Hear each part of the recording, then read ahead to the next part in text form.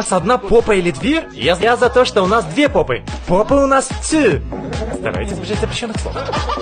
Right попа и left попа. У нас есть одна левая и одна правая нога. Они разделены, но направлены друг к другу.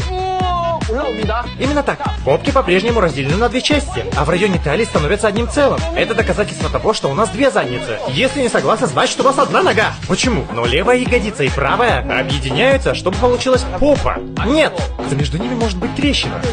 Но это один бугорок.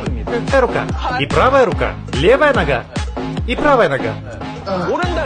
Значит, левая попа и правая. Но слово, обозначающее и то, и другое сразу, это попа. Да, это слово относится к тем и другим. Э, Одна и вторая. Это попа. Как вы думаете? Есть правая и левая ягодица. Но эта часть соединена вместе. Так что я думаю, все начинается как одно целое. Чмин, иди домой. Посмотри в зеркало. Возьми свою правую задницу и потяни ее. Посмотри, последуйте за ней левая. Я понимаю, что ты имеешь в виду, но... Довольно убедительно. Она не потянет, так как их две.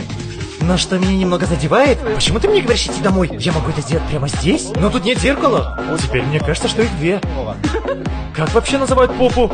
Ягодицы. Тунгын. Само это слово уже говорит о том, что попа — это большой круг. Круг. Попа-попа-попа! Попа круглая! Это один большой круг. Персики. Ай, точно! Персики тоже начинаются как одно целое. Мы не называем один персик двумя персиками. Я вот называю двумя. А. Вот почему я считаю, что задница — это единое целое. Следовательно, попа одна. Хорошо, попасть под удар. Я думаю, у нас одна задница. Она одна! Хватайся за задницу! Держи попу обеими руками! Сколько их у тебя? Одна, конечно. И всегда была одна. У нас только одна задница. Как нам закончить дебаты?